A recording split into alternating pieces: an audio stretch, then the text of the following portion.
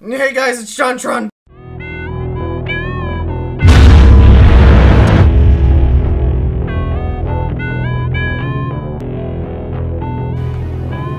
Hello everyone, my name is uh, Quentin, and today I'm going to be uh, teaching you how to play uh, the uh, most delicious pair of titties. Her name is Widowmaker. Anyway, let's let's get right into it and grapple absolutely nowhere. So, what you want to do? What you want to do? You want to choose your crosshair. There's a bunch of different crosshairs. Uh, for color, I recommend green because it sticks out the most against like every background. I personally use the normal long crosshairs. So you can use dot or short crosshairs. That's ultimately your preference, but I like I like the uh, default. So what you want to do? What you want to do? You want to Just want to. Simple as that. That's it. That's all you need to do is Widowmaker. So, and you never want to move across here. You want to keep it in one place. One place the whole time. Right? You just wait. Oh man, you missed your opportunity. You wait. You wait. You just. Here it comes, here it comes. Oh, you got your opportunity. As soon as you get a kill, as soon as you get a kill, yeah, you spray, you spray, you place a few things down, and, and you, you, you teabag, you teabag, and then that's it, that's it, you're done playing Widowmaker. No, but for real, but for real, when you're practicing Widowmaker, I'm gonna show you. I recommend a pretty low sensitivity. My DPI, my DPI is at like 600, and my sensitivity is at 8 right? That might sound super low, but I play with arm, and I recommend aiming and playing mo movement with arm rather than with wrist, right? So what we want to do, we want to do, right? For practice for tracking, you just want to make sure it stays on their head. Right? That's just that's just basic practice, right? Move around, move around up around the uh, zero meter mark in a circle. You just want to stay on their head, stay on their head, right? Of course, the goal with Widow is to get those juicy headshots. That's the whole point. That's the whole point of Widow. There's two types of um, aiming. There's a uh, tracking, which we'll wait for this guy to come out. This is tracking, right? Where, you- where you follow their head. And flicking, where like you see him him, him there. But you're aiming over here, and you want to. Well, I'm not very good at flicking, but you want to do that. Don't do that. I'm not the best at Widow, but pretty much you want to be able to either track or flick, or do a combination of the two. As that is how you will do the things. Right, for ultimate, I don't care much for ultimate, but it is pretty darn good. It gives you info and your entire team info to No the one are. Uh, can right? from my sight. We all know that the most important thing when playing Widow is to play peekaboo with the enemy Widow. And if you can't kill their Widow, then you keep doing it until you do. And then you never switch off. That was a bad shot, my bad. Flick. You just want to practice your flicking as Widow, like I do. Like that. That a headshot. Gank boom. You to practice charging it up. Like like I said, not the best. I'm not the best. So, a few tidbits as well. Of course, the head, like I've like I've said about a million times now. And track tracking, aiming, aiming of course is probably the hardest thing as well because that is what our entire kit is built around. Flicking and tracking.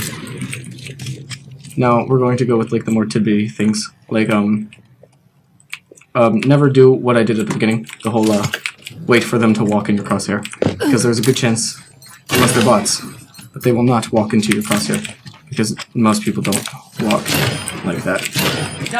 Now, I personally, personally prefer Widow on attack, but that's how you make people angry. But if you don't get a pick pretty early, I'd recommend switching on because if they're not getting as Widow, they're not they're not getting the uh, value out of her character, and each character has a certain value that you need to be getting. And for Widow, it's the kills. Now, now we're going to talk about um, her Venom placement. Now, say you're sniping up here, right? And you know there's a flank behind you. You want to place it like here, or there, or there, or maybe even there. I wouldn't. Uh, the, the farther away, the better, because it gives you more chance to ready yourself for when someone's coming. Right? They trigger it, and you're like, oh, they're coming, or they destroy it, and they're like, and you're like, oh, they're coming. Now you have choices, right? You can leave, or you can fight. Now, if it's a tracer and she's not very good, and she's just running in a straight line at you, just Did that just kill hurt? it. Like, this is an amazing thing for Widow. It's called a left click, and it, it can uh, delete people. Right, right. The, of course, the closer that you place it, the less time they have to find a flank to go around it. But also the less time they have to react. So that's just based on your own judgment. Now, for your grapple hook, there's more than one way to use the grapple hook. In case you didn't know, you can use it offensively or defensively. Now, here's a and like a hybrid of the two, right? Say say this is the defensive way. Someone's coming. Someone's coming. They activated. They activated your uh, venom mine. And you're like, oh no, and you like get away, and you gotta get away, and wow, you got away, right? Now, you you might have just saw the thing that I went flying after I did the grapple, right? Instead of just going straight. So you can grapple like that, and you go straight up. But if you press space or whatever you have your jump button button down to, before your grapple reaches its destination, you'll go flying, and that's how people. That's how you see people get those like midair midair shots. Like? It also lets you cover more distance. Um, now this is something I do coming out of spawn as Widow, a lot, right? So you just grapple the gun or something, and then you hold down space, and you'll get a hop, and you'll just get like a few extra meters of distance that you've covered, and it's it's pretty great. No one Um, can hide from Now that I showed you the defensive thing, right? For the offensive, for it to come off. Double. So say say that um you know there's an enemy right there. He's about to respawn. There he is. There he is. Right. You know there's an enemy right there, and you're up here. You want to get him. Use it offensively. Get up in his face. I missed that shot next shot, but get up in his face. Surprise him. He won't. He won't be expecting it. Uh, see. So anyways, it's harder to. Now this is gonna sound weird, but it's it's harder to hit people that don't know you're there. The uh, reason for that is uh, because well, everyone's random, right? Right. If if they know you're there, they're going to be like crouching, crouch spamming.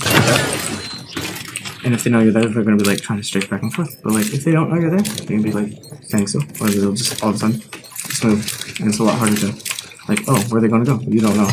So that was the offensive part. Now, the hybrid, I guess, could be thought of as offensively. But I, I think of it as a hybrid because it can be used as just defensive and offensively. So, so you see this guy, right? He came in. He's like, I'm like, oh no, oh no. He dropped down. He might drop down after you. And then you're like, oh. And then you can run away from him. Go to sleep. And he's like down there, and then it's too late. You're gone. Or if it's like a D.Va and they also drop down, or something. That's the def- defensive part of it. Or say you drop down and it's some, and then, and then you just. That's the hybrid. Okay. And so you can use it offensively or defensively. That's about all there is to Widow. Um, don't try to don't try to one v one soldiers because that's silly. Don't be silly. Their gun does a lot more damage than yours unless you're scoped. Loody doo, be da da. Bye.